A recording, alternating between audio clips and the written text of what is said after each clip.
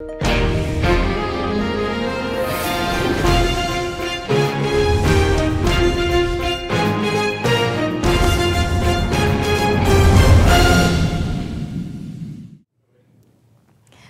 buenas noches amigos televidentes, sean todos bienvenidos a FETV Diario, una manera diferente de mantenerse informado. Hoy es 14 de noviembre, les saluda Adaluz Sanjur en compañía de Augusto Vanegas. Augusto, buenas noches. ¿Qué tal Adaluz? Buenas noches amigos televidentes, bienvenidos a este su noticiero FETV. Gracias por estar aquí con nosotros y ofrecernos la oportunidad, la posibilidad de eh, ofrecer este servicio televisivo para toda la comunidad.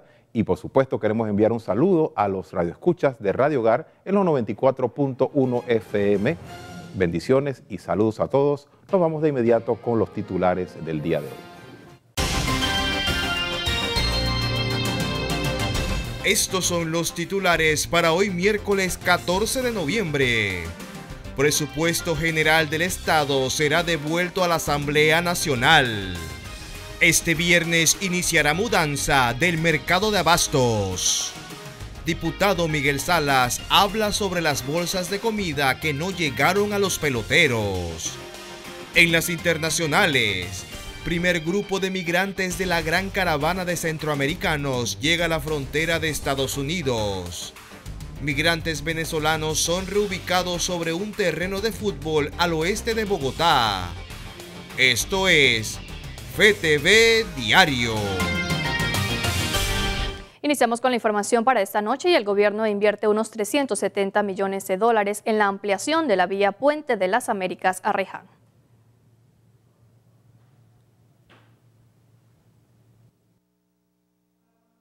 Bien, más adelante vamos a tener esta información. Vamos a continuar con más y durante la inspección de los trabajos de rehabilitación del trayecto del Puente de las Américas hacia Raiján, el presidente de la República, Juan Carlos Varela, se refirió este jueves a varios temas del acontecer nacional, uno de ellos la designación de magistrados y el aumento de los jubilados. Ya eso, eso, sí, eso ya se dio fecha, muchachos. Eso se dio fecha la próxima semana. Ma, sin duda alguna, ya. No. Eso, eso, las, las unciones se hacen es en, lo, en, los, en, en, lo, en la ceremonia religiosa. Yo nunca he visto una unción que no sea en ceremonia religiosa. En caso de los jubilados, ¿quieren que sancione FTV.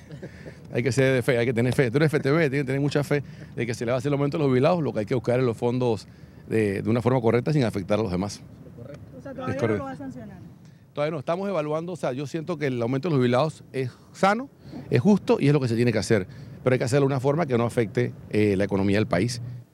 El gobierno invierte unos 370 millones de dólares en la ampliación de la vía del puente de las Américas a Raiján. Un avance de un 11% presenta el proyecto de ampliación de la vía que conduce desde el Puente de las Américas hacia Riján. Ese proyecto contará con unos 8 carriles, de los cuales los dos carriles centrales servirán para realizar inversión de carriles en horas picos. En ese proyecto se invierten unos 370 millones de dólares. Este proyecto ya cuenta con 400 trabajadores, un 12% avance y esperamos para el mes de enero subir a más de 1.500 trabajadores y dejarlo un casi un 40% avance al término de mi periodo presidencial. Así que estamos muy contentos. El ministro de Obras Públicas ha licitado más de 4.500 millones en obras con transparencia y entre esos también le tocó terminar obras que recibió el gobierno anterior. El proyecto de ampliación busca beneficiar a más de 2 millones de personas de diferentes partes del interior del país, especialmente a aquellos residentes de los distritos de Arriján y Chorrera en la provincia de Panamá Oeste, quienes día a día pasan horas en medio del tráfico vehicular. Esta obra contará con seis intercambiadores que se ubicarán en las entradas de Cocolí, Panamá Pacífico, Loma Cobá, 7 de septiembre, Empalme sobre la vía Centenario y Burunga, donde se conectará con la entrada de la autopista Raján Chorrera. Desde el inicio del proyecto se ha cuestionado la deforestación de una gran cantidad de árboles que se encontraban en la orilla de la vía panamericana y debido a esta deforestación varios animales salvajes han perdido la vida, pero según las autoridades de ambiente, ya la empresa constructora del proyecto ha iniciado un plan de reforestación. Tenemos un equipo en campo que se asegura de que todos los programas de rescate y reubicación de, de flora y fauna se den de acuerdo a lo establecido por la ley, las compensaciones ambientales eh, fueron establecidas en la ley 1 de febrero, febrero del 94 por el presidente Endara. Ese importante proyecto vial será un complemento del cuarto puente sobre el canal, lo que significa que una vez culminado no se aliviará el tráfico vehicular del todo hacia Panamá Oeste. Esta no es una obra para mejorar el embotellamiento en el puente de los franceses. Esta es una obra para después conectar con el cuarto puente y que se vea su utilidad. Una obra pública no se puede planear a dos años o tres años. Se espera que ese proyecto esté listo a finales de 2019 o a principios de 2020. Actualmente se trabaja en la remoción de tierra. El proyecto contempla mejoras viales como barreras New Jersey y dispositivos de inteligencia del transporte que indicarán cuándo se puede ingresar en los carriles invertidos. Para FTV Diario les informó Rances Betancourt. Bien, y durante esta cobertura el presidente Juan Carlos Varela también se refirió al veto parcial del presupuesto del Estado, el cual fue devuelto a la Asamblea Nacional de Diputados. Yo prefiero enfocarme en movilidad urbana porque créeme, detrás de esta obra están muchas horas de trabajo, está, hay muchos compromisos, pero se hizo lo correcto cuando se me explicó puntualmente eh, eh, que eso debilitaba la Contraloría General de la República, eh, porque al final, si se hacía por existencia, tenía que que, que, que sea refrendado de todas formas, entonces sí, hay dinámicamente tomar decisiones de. Y arrendatarios del mercado de abastos se resisten a la mudanza hacia Merca Panamá. La mudanza del mercado de abastos a Merca Panamá se convertirá en una realidad a partir de ese viernes 16 de noviembre. Esto ha ocasionado que un grupo de arrendatarios se oponga a la mudanza ya que según ellos, esa mudanza afectará las ventas de fin de año. Anunciamos al presidente que no queremos un tipo de regalo para Navidad de esta naturaleza. El pueblo no merece eso porque ha sufrido demasiado ya. La decadencia eh, económica que hay en el país se ha caído al 50%, estamos sufriendo, perdiendo nuestro dinero. Los comerciantes hicieron señalamientos contra algunos empresarios que hay dentro del mercado y en medio de la manifestación llegaron hasta una de las naves del mercado para enfrentar a quienes ellos dicen que no los representan. Quiero que ellos dicen que el 100%, ¿dónde está el 100% de la gente que se quiere ir por el mercado, que se quiere ir de aquí? No hay, porque nosotros la minoría queremos quedarnos aquí. Para el presidente de la Asociación de Comerciantes, Yori Morales, la oposición se da por parte de aquellos pequeños comerciantes que no forman parte del mercado de abastos e indica que dentro del mercado agrícola hay personas infiltradas. Vamos a estar en un nuevo local, en un nuevo mercado donde aquellas personas que quieran comprar guandú y sus frutas de fin de año van a llegar al nuevo mercado y se van a encontrar con un mercado mucho más ampliado. La gerencia general del MERC está tomando las decisiones respectivas, así que esperemos que el cronograma que hemos planeado siga su curso. La mudanza hacia Merca Panamá había sido pospuesta en diferentes ocasiones, pero según las autoridades, ya Merca Panamá está habilitado para recibir a los comerciantes y al público que asistirá hasta la vía Centenario para hacer sus compras de legumbres y frutas al salir de aquí, porque dice que es una porquería, porque dice que es una basura, pues déjeme decirle que yo prefiero tener esta basura y que sea para el pueblo, para que el pueblo pueda venir aquí, ya que los gobiernos a ninguno le ha interesado mejorar la condición de este mercado, porque hay un propósito. Y el propósito que hay es que se llega al estado que tiene este mercado, que es insalubre, que es de todo. Algunas propietarias de restaurantes y kioscos mostraron su inconformidad con las autoridades, ya que señalan que en Merca Panamá no hay espacios para sus negocios.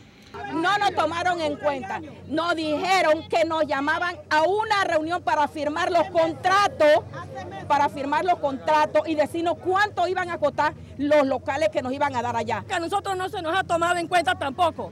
Yo tengo una refresquería y así hay muchos que tienen kioscos, que venden sacos, que venden suéter, que venden guantes, que venden eh, mercancía seca. Y yo pregunto qué van a hacer con nosotros. Queremos un respeto, exigimos respeto, porque nosotros, nosotros los arrendatarios no somos bandoleros que andamos haciendo lo que los pegue la gana en esta calle. Yori Morales ha dicho que esta situación con las propietarias de los restaurantes es uno de los puntos en los que ha fallado la administración de Merca Panamá la construcción que le hicieron no se adecua para poner restaurantes porque el material que se usó no es el adecuado para poner esto. Creo que les dieron un plan de contingencia donde ellas podían poner sus eh, eh, restaurantes de forma ambulatoria.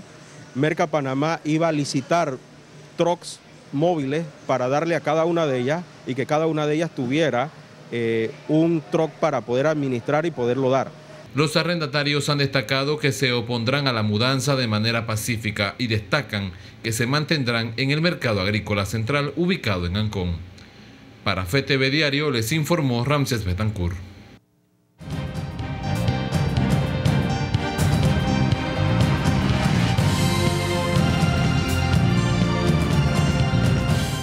El profesor Edwin Cabrera listo con el análisis de esta noche para hablarnos sobre una propuesta presentada por el magistrado Oiden Ortega para declinar la competencia de la Corte Suprema de Justicia en el caso de pinchazos que se le sigue al expresidente Ricardo Martinelli. Profesor, buenas noches, adelante.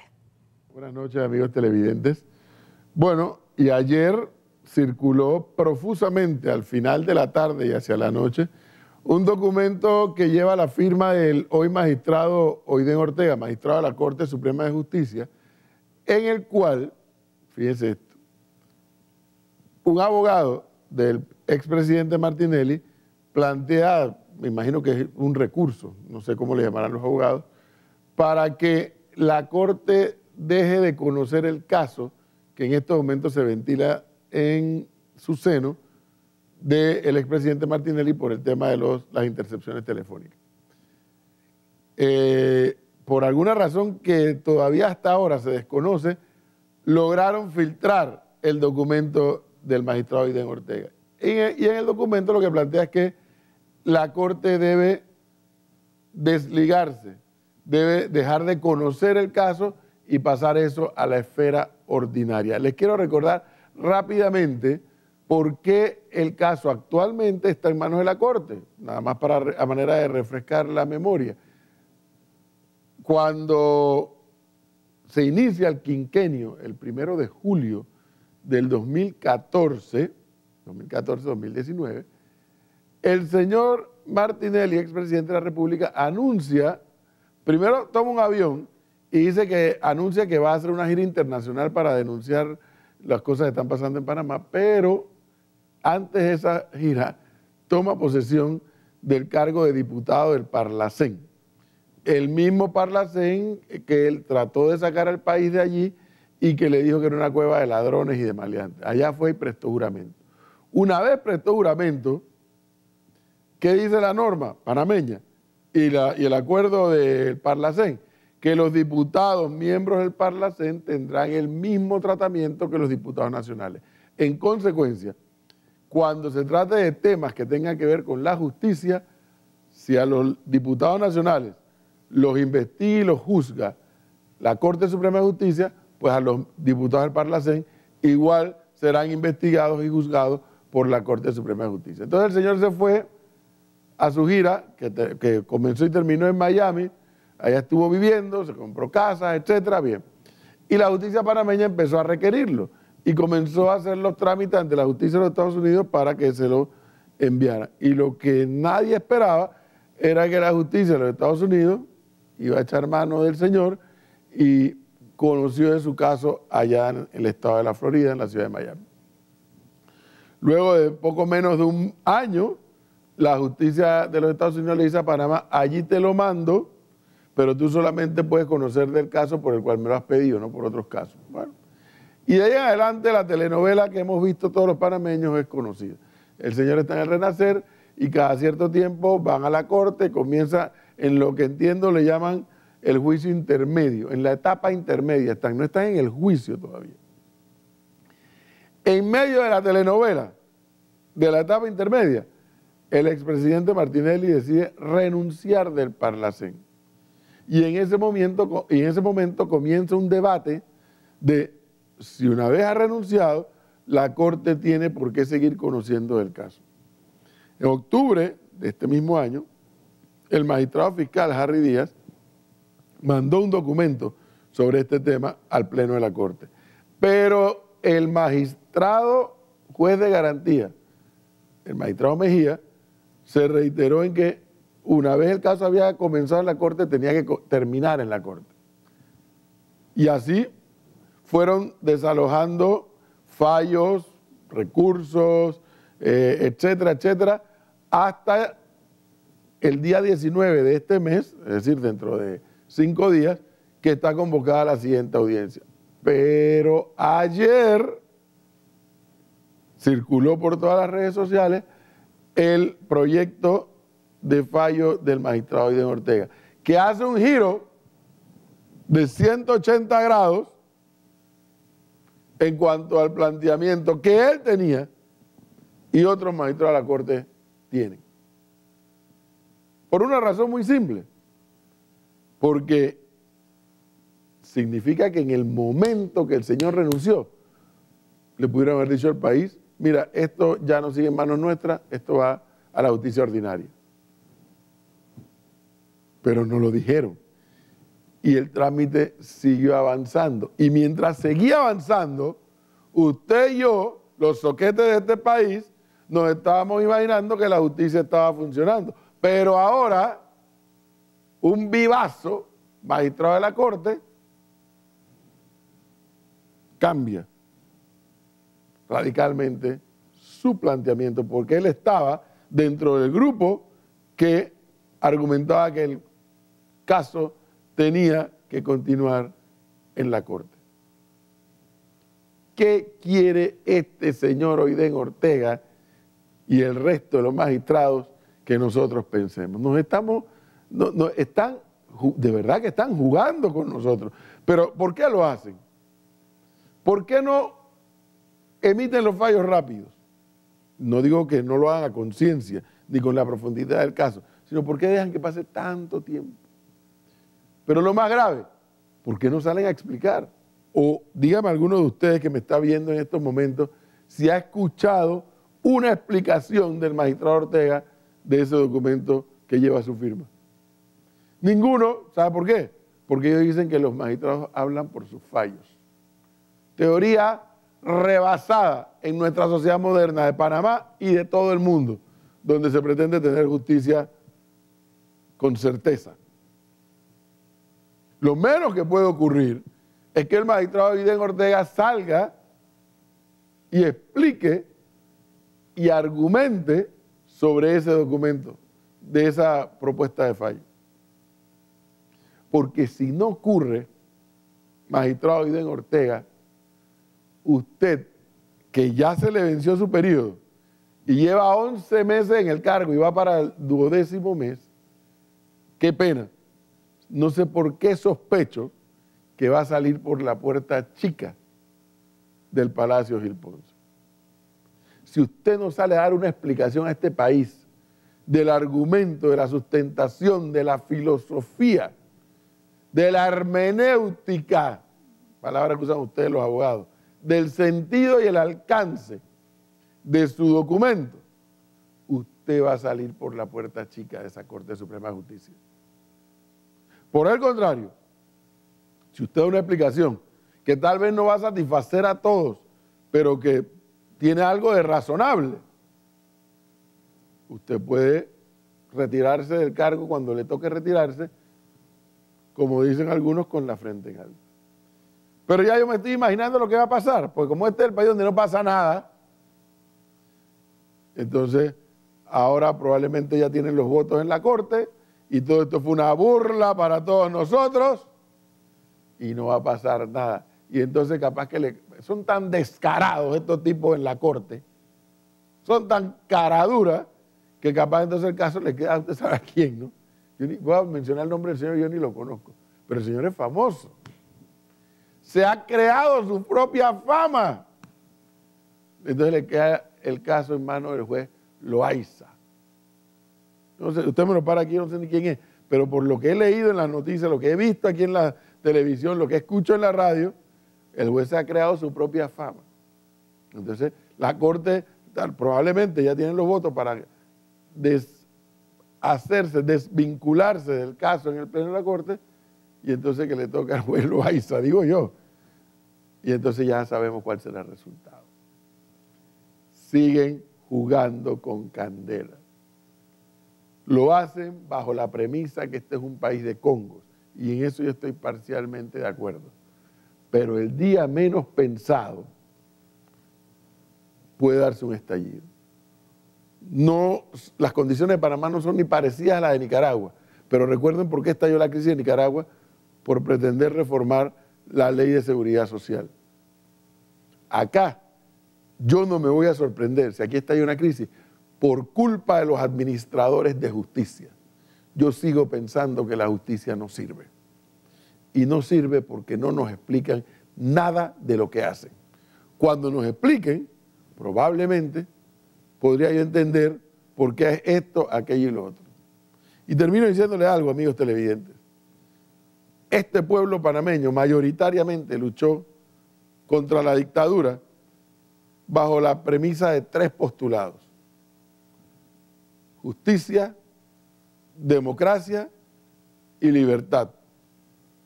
Yo no tengo ninguna duda que tenemos la libertad y la ejercemos permanentemente. La democracia con todas sus imperfecciones cada cinco años, que no es solamente la democracia electoral, pero funciona. Pero la justicia, allá casi 30 años de haber salido de la dictadura, no funciona. Y no ha funcionado. No sirve. Pero bueno, vamos a esperar a ver si no le filtran otro fallo, otro proyecto de fallo al magistrado Ortega o a otro magistrado para entonces ya cerrar el círculo de esta idea y saber que no va a pasar nada. Continuamos con más información y en el segundo bloque volvemos con otro tema también de su interés. Muchísimas gracias, profesor, por este análisis. Vamos a hacer nuestro recorrido por el mundo en las internacionales.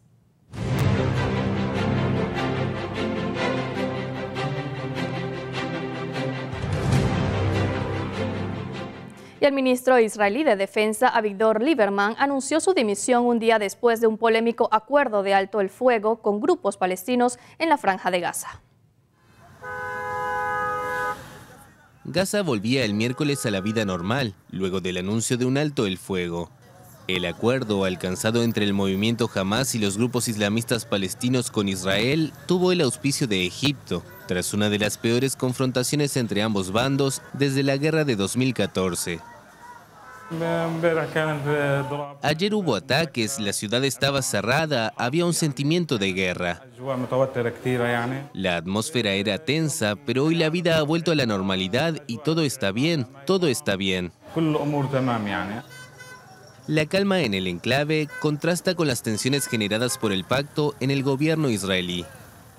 El ministro de Defensa, Víctor Lieberman, anunció el miércoles su dimisión y pidió elecciones anticipadas en el país.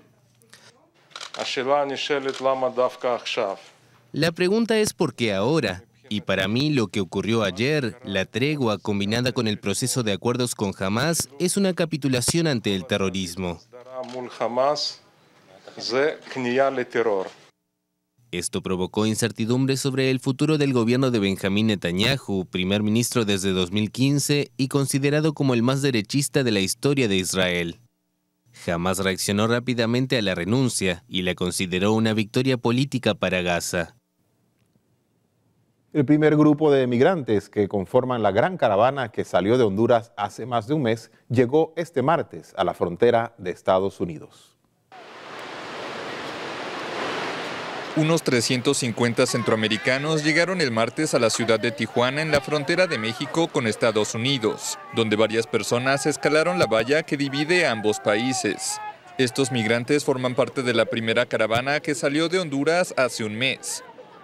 Yo tengo el 99%, somos gente de bien y estamos esperando hacer las cosas en paz, que Donald Trump se dé cuenta la necesidad real que tenemos, que no es de venir a hacer daño, es de venir a encontrar una oportunidad que en nuestros países se han negado.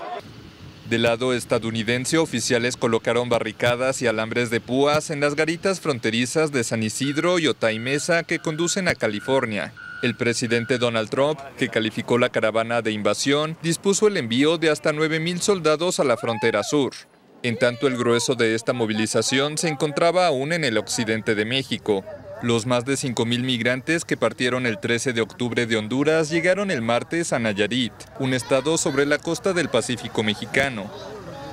La verdad que pues muy alegre porque ya estamos a un paso más adelante de que nuestra familia eh, tenga un, ¿cómo se le puede decir?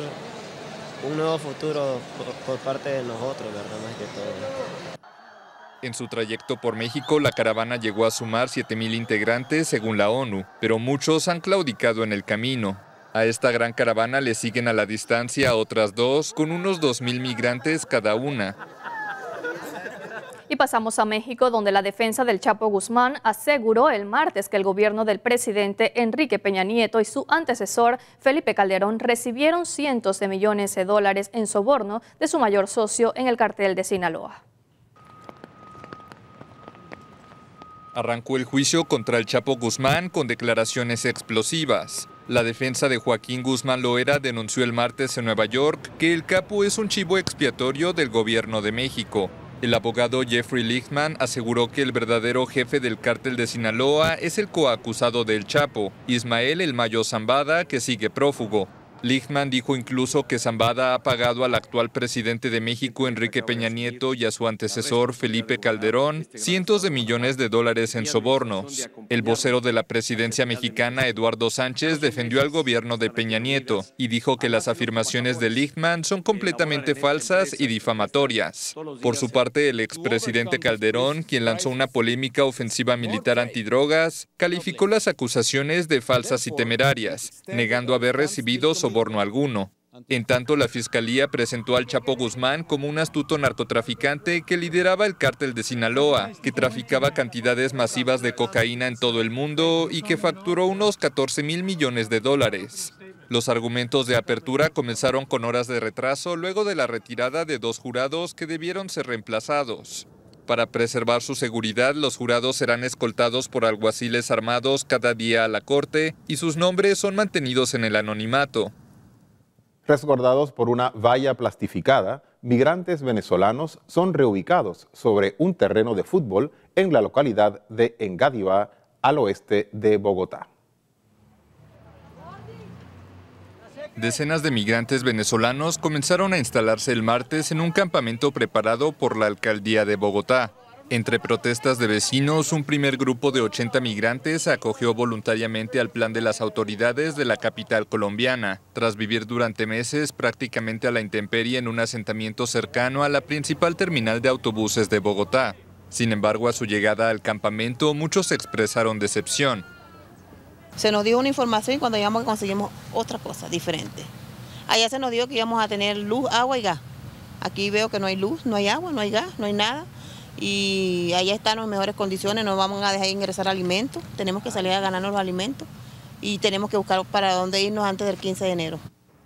El campamento tiene capacidad para unas 500 personas y fue levantado sobre un terreno de fútbol en el oeste de Bogotá. Las familias podrán permanecer hasta un máximo de tres meses según el compromiso que acordaron con las autoridades. Terminado el plazo, no es claro qué suerte podrían correr en caso de que no consigan reiniciar sus vidas, en medio de la mayor ola migratoria jamás registrada en Colombia, a donde han llegado alrededor de un millón de personas desde Venezuela en los últimos años. Y los ministros del Tribunal Superior Electoral de Brasil recibieron al presidente electo Jair Bolsonaro, quien previamente anunció la designación del general de reserva Fernando Acevedo e Silva como su futuro ministro de Defensa. El presidente electo de Brasil, Jair Bolsonaro, se reunió el martes con el Tribunal Superior Electoral en Brasilia como parte del proceso de transición. La presidenta de la Corte, Rosa Weber, regaló a Bolsonaro una copia de la Constitución brasileña.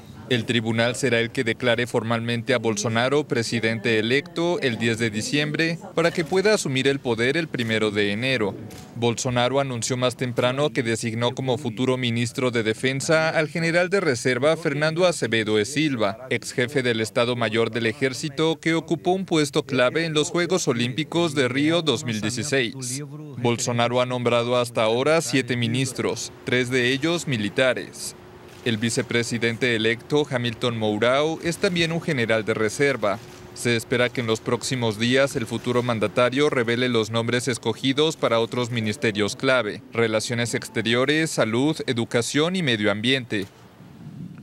Bien, queridos amigos televidentes, vámonos a un breve cambio comercial y al volver, 61% de avance presenta la construcción de la ciudad de la salud.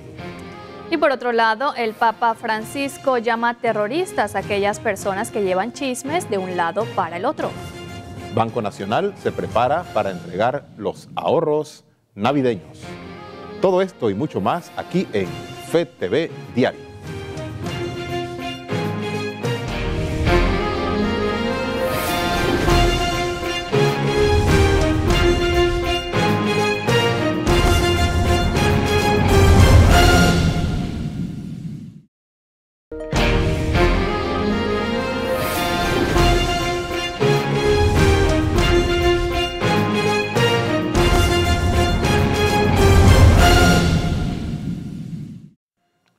Amigos de FTV y Radio Hogar, estamos de vuelta con más de FTV Diario. Damos paso de inmediato con las notas eclesiales.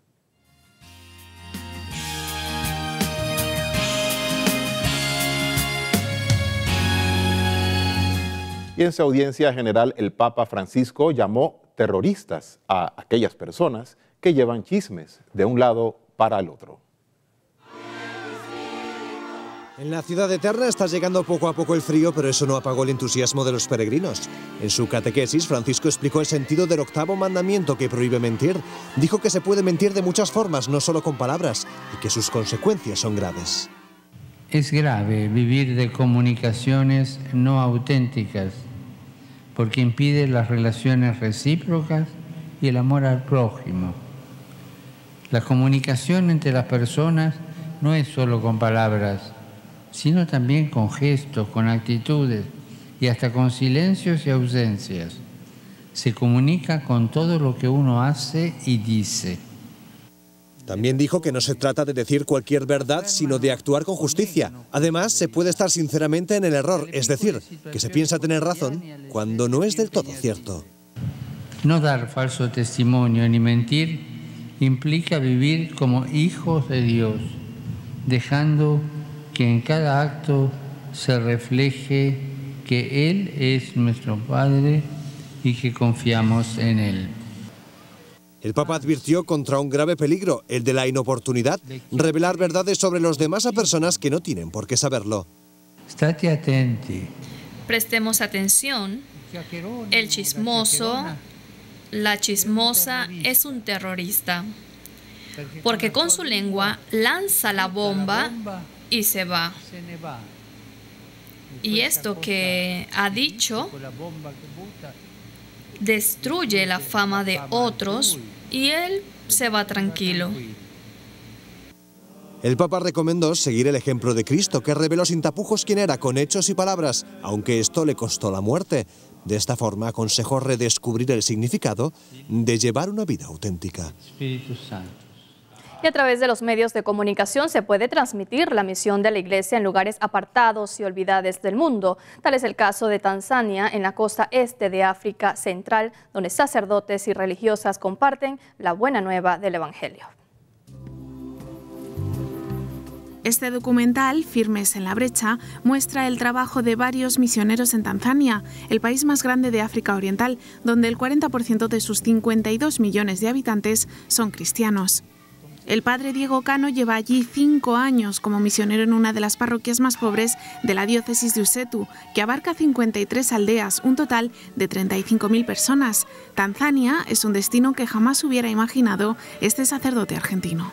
Que muchas veces uno como misionero dice, bueno, voy a poder, voy a aguantar, me va a dar la salud, no me va a dar, voy a poder aprender el idioma, no sé, pero es como que Dios te pide que te largues que vayas a la misión sin mirar lo que uno le parece que puede o no puede. Es un país con grandes desigualdades sociales en el que hay zonas muy pobres, como aquella en la que trabaja el padre Cano, misionero del Instituto del Verbo Encarnado. En su misión, las familias trabajan en el campo para su propio sustento con grandes dificultades para conseguir agua en los meses de sequía. Además, en muchas ocasiones, el agua que beben está en mal estado provocándoles graves problemas de salud. Por eso la misión se movilizó y consiguió financiación para construir un pozo. Eh, una de las señoras que eh, viene a la parroquia todos los días nos decía que, ellas debían levantarse a las 4 o 5 de la mañana para ir a buscar agua y a las 4 o 5 de la mañana, que todavía es muy de noche, muy cerrado, se escuchan las hienas aullando y realmente, eh, bueno, da miedo. El duro día a día de estas personas no les roba las ganas de acudir a misa o formarse en la fe. Por eso las conversiones crecen año tras año. Solo en catequesis cuentan con 5.000 niños y adultos. Y en esta gente uno los ve en medio de la pobreza, en medio de, las carencias, de- del agua o, todo lo que ellos les toca sufrir en un país tan pobre y sin embargo brilla en ellos esa alegría, esa felicidad, ese agradecimiento. Una cosa que, que tal vez nosotros deberíamos también aprender. El padre Cano, con la ayuda de cinco religiosas, saca adelante un colegio y un dispensario médico, pero toda colaboración es poca, como muestra Firmes en la Brecha, un documental para recordar que muchos misioneros siguen entregando su vida día a día en las periferias más remotas. Y continuando con las notas de carácter eclesial, el cineasta católico Juan Manuel Cotelo presenta su nueva película El Mayor Regalo. Las cámaras de FTV estuvieron presentes en su función de preestreno. El Papa Francisco ha dicho que si no sabemos perdonar, no podemos llamarnos cristianos, y es que el perdón viene a traernos paz y amor en medio de nuestras realidades llenas de tristeza y odio.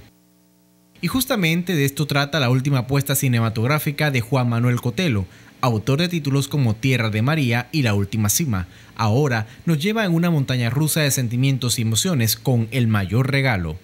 Esta película nos muestra el lado humano del dolor y cómo podemos llegar a tener paz en medio de la tempestad si perdonamos de corazón, como lo hicieron cada una de las personas que con su testimonio de vida nos dan luces del camino que debemos seguir. ¿De cuántos asesinatos estamos hablando? Con mis propias manos, unas 300 personas. Manuel, cuando tú estás en la guerra se te cierra el corazón. La palabra amor tú no la conoces ahí. Tú la vienes a conocer después cuando alguien te abraza y te da perdón. Esta película estará disponible en las salas de cines de nuestro país desde el jueves 29 de noviembre y FETV estuvo presente en el preestreno exclusivo de esta cinta y estos son los comentarios de algunos de los asistentes. En verdad es magnífica la película, los invito a verla y realmente es un buen título. Es el mayor regalo que le podemos ofrecer a todas las personas, a las familias, al mundo entero, a Panamá. La película es muy sanadora, eh, es, es muy profunda porque el perdón puede reconstruir nuevamente nuestro corazón. Que Dios les bendiga. Eh, la película es muy buena, se la recomiendo, es una película para que calentemos un poco el corazón y no lo tengamos tan frío. Eso de no perdonar, creemos que no, hay que dar ejemplo. Si seguimos a Cristo, vivirlo, amar, amar sobre todo. Eh, tiene un gran mensaje y tienen que venir. Es muy buena y creo que es más que buena, necesaria. Que la vengan a ver porque realmente es un tema totalmente diferente y con un muy buen contenido para que las personas puedan retomar todo lo que los resentimientos, sacar tantas cosas eh, malas que tenemos dentro de cada uno de nosotros y pues reconciliarnos con nuestros seres queridos, que es lo más importante para Dios y para todos nosotros. Eh, pocos comentarios les puedo decir que es única, maravillosa, que el perdón es la mejor medicina para el alma y que no se pueden perder el venir a verla. La verdad que los invito y no se la pierdan. Dios es lo más grande y esta película es la única y primera ganadora. Bendiciones. Me parece excelente el tema del perdón y bueno, magnífica estuvo la presentación. Definitivamente esta película nos invita a liberarnos de las pesadas cadenas del odio a través del perdón.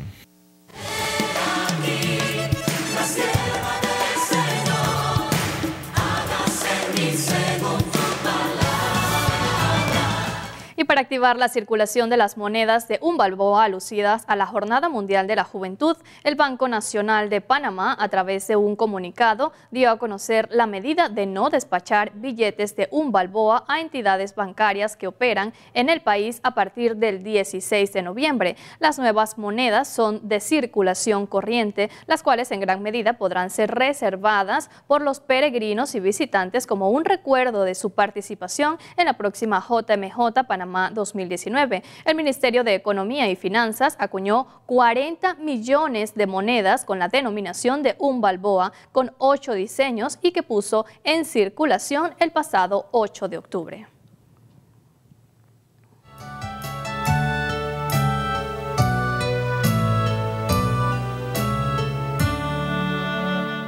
Queridos amigos, se encuentra con nosotros el Padre Francisco Verar para el enfoque pastoral, donde nos hablará de un caso en donde unos delincuentes abrieron sagrarios y tiraron las hostias al piso en la diócesis del Rosario, en Argentina. Padre, buenas noches. Buenas noches, queridos amigos fetevidentes. ¿Cómo están ustedes? Hoy quisiera comentar con ustedes una nota dolorosa que en la diócesis de Rosario, en Argentina, hace unas horas, un par de días solo, un grupo de delincuentes ha abierto varios sagrarios, tres sagrarios, han tomado las hostias, la han tirado al piso, se han robado las hostias, han pintorreteado las paredes, atacando a la iglesia, a los sacerdotes con frases feas. ¿Por qué? Porque hace unos días, curiosamente, el gobierno local y eso que una mm, votación bastante reñida, eh, solamente por dos votos, unos 10 y los otros 13, votaron a favor de que en toda la región de esta de Rosario, en Argentina, de donde precisamente es Messi, se deben remover de todos los espacios públicos cualquier signo religioso cristiano católico ojo, cristiano católico. O sea, hay otro de la nueva era o de la cábala o herraduras y cosas de la buena suerte, eso puede quedar. Porque hay que separar iglesia-estado. Y entonces, para manifestar su rechazo a esto y su, digamos, a ese concepto de que hay que eliminar los signos religiosos, profanaron varios sagrarios es doloroso, ¿no? Es doloroso que estas cosas estén, a través, estén pasando en el mundo, queridos hermanos, cuando las raíces de Argentina son cristianas y católicas, y teniendo un papa precisamente que es de Argentina, la iglesia en este caso. Nos duele también el hecho de que la situación en la frontera con, entre Estados Unidos y mm, también en México en Tijuana las cosas se están complicando.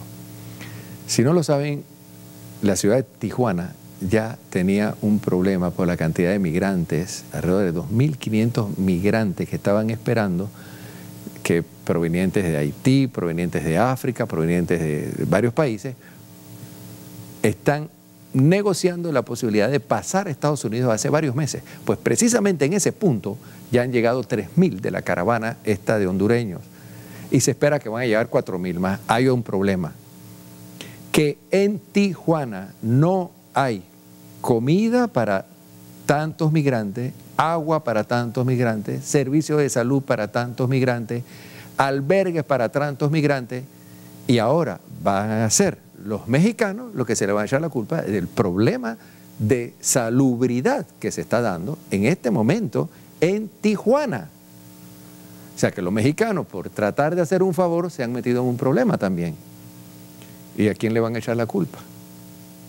Es una situación difícil y yo creo que en esto también las autoridades religiosas, los señores obispos, deben hacer algo, hacer un llamado, hacer algunas acciones concretas, digamos, de, de auxilio ante esta situación terrible que se está viviendo en este momento en Tijuana. Y en los próximos días el problema va a aumentar porque están, finalmente están llegando a la frontera estos migrantes, ¿verdad?, de Honduras.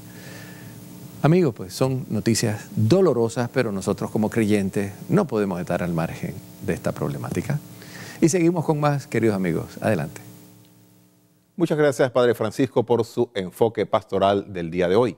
Y continuando con la información, más de 340 millones de dólares ha desembolsado el Estado en certificados de pagos negociables, CEPADEM, así lo dio a conocer el Ministerio de Economía y Finanzas.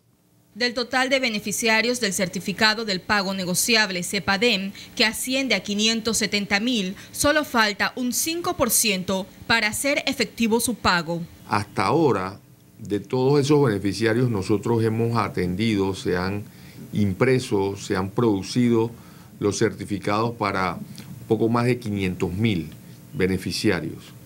Em, y con estas rondas que estaríamos recibiendo de casi 30 mil beneficiarios, estaríamos hablando de que estamos estaríamos a, un, a casi un 5% de finalizar con esto, este proceso, que para este año debería haberse terminado de entregar este, hasta el último beneficiario. Más de 750 mil certificados del CEPADEM ha negociado el Banco Nacional de Panamá. Así lo reveló el gerente general de esa entidad bancaria. Hemos beneficiado a más de 200 mil personas y hemos puesto en la calle más de 200 millones de dólares. Este, las negociaciones van bien, ahora como estamos en la última etapa, que son los beneficiarios de los fallecidos, toma un poquito más de tiempo, pero estamos este, pudiendo atender a todas las personas y ya entonces ya quedarían los remanentes que estamos seguros que de aquí a fin de año se van a terminar de cubrir. El porcentaje se mantiene igual, este 7% para el 2019, 9% para el 2020, 11% para el 2021 y 13% para el 2022. Nosotros vamos a cambiárselos a todos, no tienen que madrugar, simplemente con el tiempo las filas irán amainando y eventualmente todo el mundo va a poder redimir sus padres. O sea, el, el, dinero no se va a acabar, dinero hay de sobra para poder cubrir el programa. En esta próxima jornada le corresponde a los viudos y viudas de los beneficiarios en primer lugar, la viuda, o el viudo, es decir, el cónyuge o el conviviente de hecho.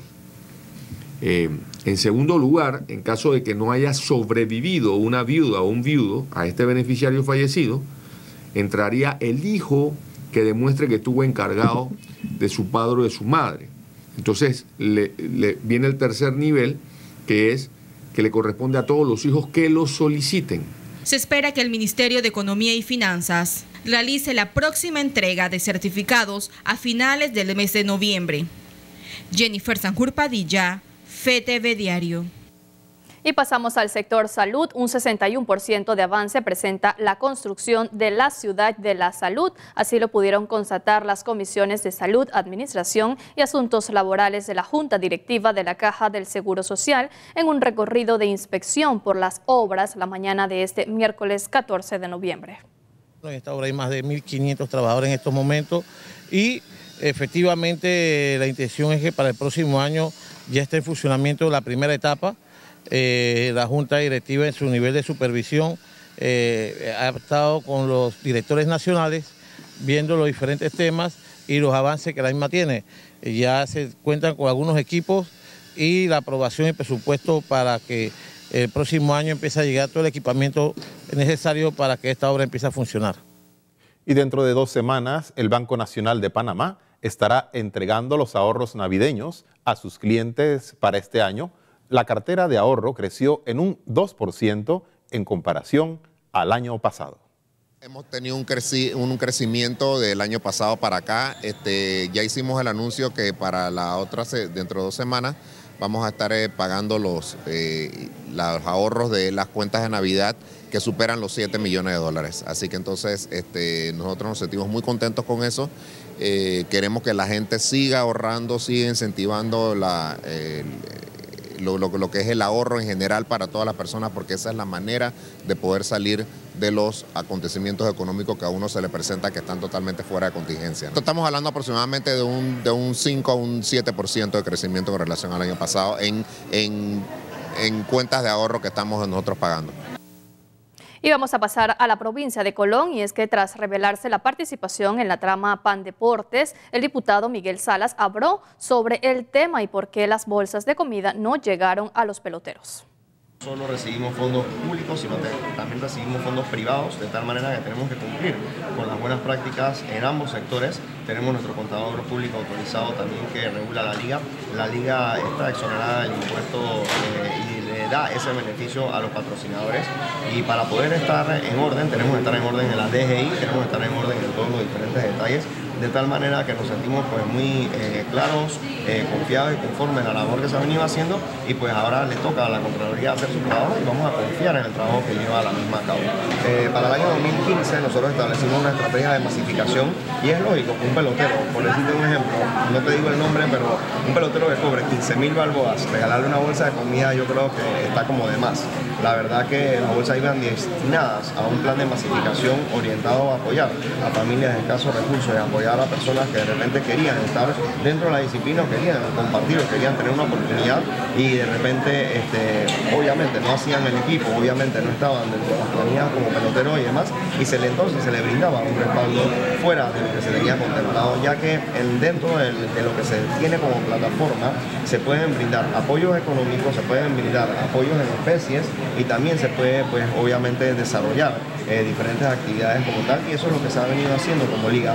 A los peloteros se le, al final del día se les da un respaldo en base a un contrato que permite que se dé a través de la Federación de Béisbol a nivel nacional, porque nosotros estamos adscritos a la Federación de Béisbol y a su vez eh, colaboramos en armónica coordinación con el Banco Bien amigos televidentes, el noticiero va avanzando y continuamos con una pausa, pero al volver vamos a tener el segundo análisis del profesor Edwin Cabrera.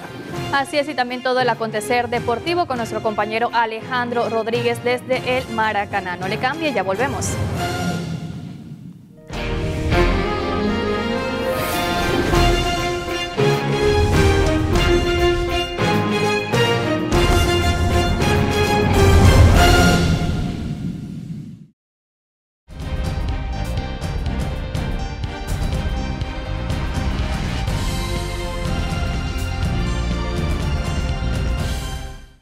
De regreso, amigos televidentes. Oigan, yo les tengo que decir que yo he visto encuestas bastante en este país.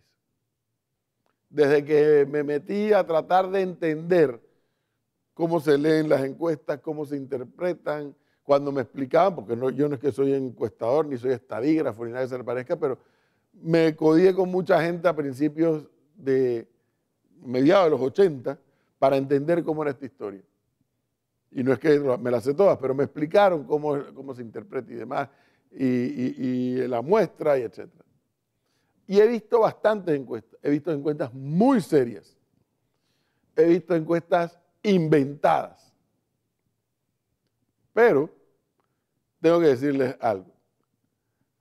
Desde, no sé si anoche o desde esta mañana, está circulando en las redes y en los WhatsApp y demás una encuesta no le voy a hablar de los resultados porque yo no voy a cuestionar los resultados de esa encuesta.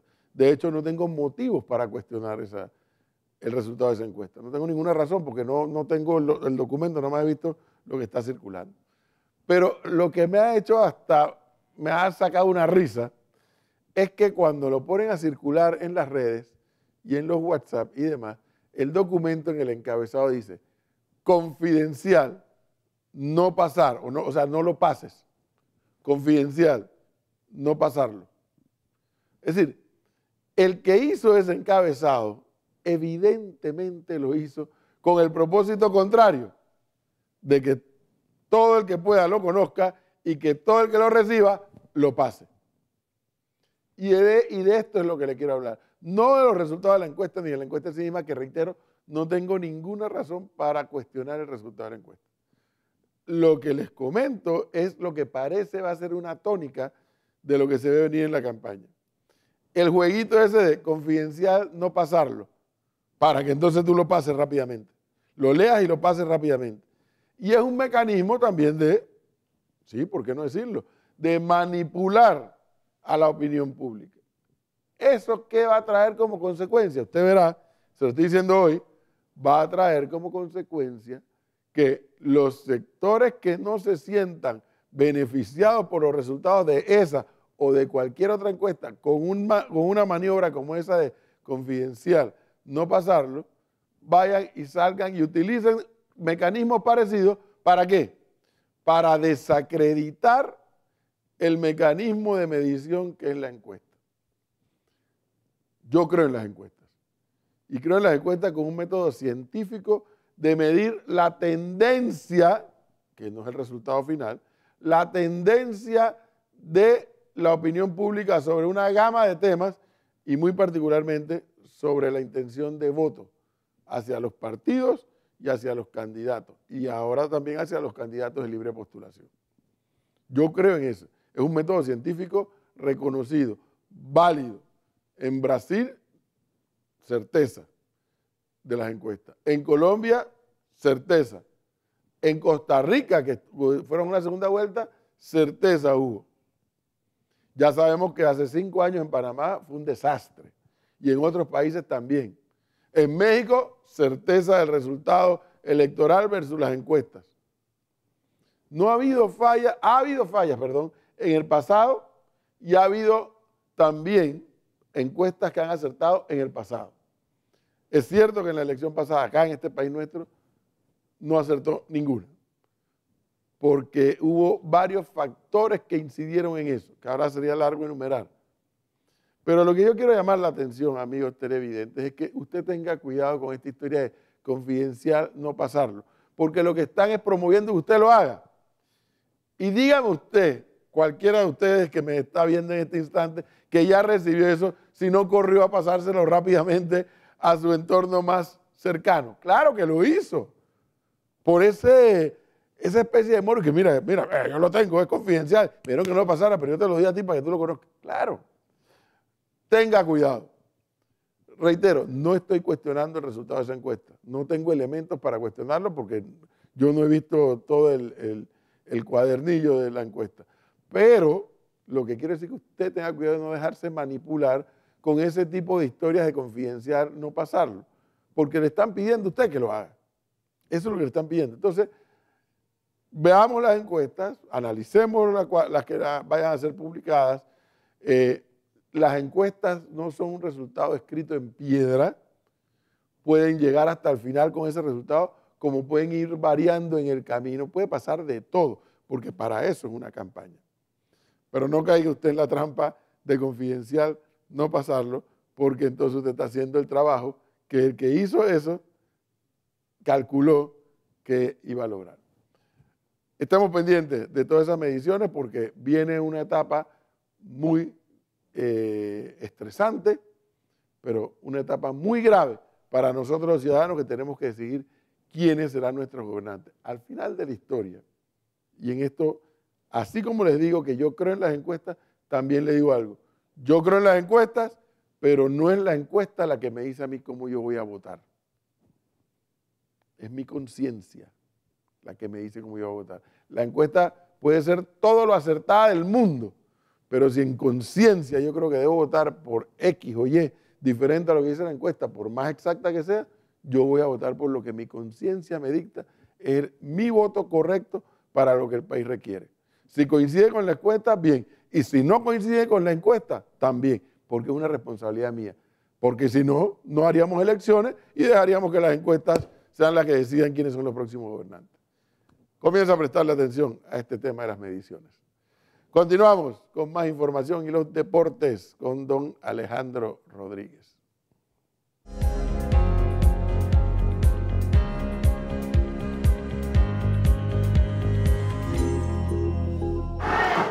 Gracias amigos de FTV Diario, nos encontramos desde el Estadio Maracaná, donde hoy se juegan los playoffs de la Liga Cableonda LPF. Se está jugando aquí en el Estadio Maracaná el partido entre Plaza Amador y el equipo del San Francisco. Más tarde jugarán el Tauro y el Alianza en el Estadio Rommel Fernández. Pero primero tenemos que hablar de la Liga Profesional de Baloncesto. Hoy se realizaron la entrega o se eligieron los mejores jugadores de la temporada 2018 de este, de este torneo. Al final, Will Martínez fue elegido como el MVP para este torneo, jugador de los universitarios de Panamá. Director del año José Gómez también del equipo campeón los universitarios de Panamá. El mejor jugador nacional fue elegido Eugenio Luzcando, por supuesto también de los universitarios. Para el premio de mejor sexto hombre, Ramón Ruiz Ramos de los Correcaminos de Colón se quedó con este premio en la categoría novato del año. El, jugador de los Toros de Chiriquí, Gil Atencio, juvenil, se queda con esta categoría novato del año. Fue la primera vez que eh, Gil Atencio se quedó con, la, con esta categoría en los toros, por parte de los toros de Chiriquí. Por su parte, Tyler Gaskins ganó eh, la categoría de mejor jugador en desarrollo. Nos encontramos también por acá con Jenny Verdiales por parte de la FEPAFUT de la Liga Cable Onda LPF. Jenny, para que nos hable lo que va a ser mañana ese sorteo para definir las semifinales de la LPF. Bueno, el día de mañana vamos a tener un sorteo con eh, los equipos que ganen el día de hoy los playoffs, como tú sabes, para que jueguen las semifinales el fin de semana, sábado y domingo específicamente. Así es. ¿Qué, podríamos ver mañana? Va a ser un sorteo en vivo en la conferencia de prensa para que la gente sepa y tenga los detalles. Claro, va a ser un sorteo en vivo donde va a ser los que, los que jueguen con el primero y segundo lugar que pasaron directamente, que son Costa del Este y el Árabe Unido, los que queden el día de hoy. Vamos a hacerlo delante de los medios de comunicación para que sea totalmente transparente. Entonces este fin de semana se empezará a jugar lo que son las semifinales de la LPF Torneo de Apertura. Correcto, este fin de semana, sábado y domingo se van a estar jugando, todas las locaciones serán, depende de los equipos que ganen el día de hoy. Así es, la información acá desde el Estadio Maracaná, ya saben, mañana se va a jugar, se va a realizar, mejor dicho, ese sorteo en hora de la mañana. Todos los detalles los tendremos aquí en FTV Diario. Compañeras, vamos con ustedes y la parte final del noticiero.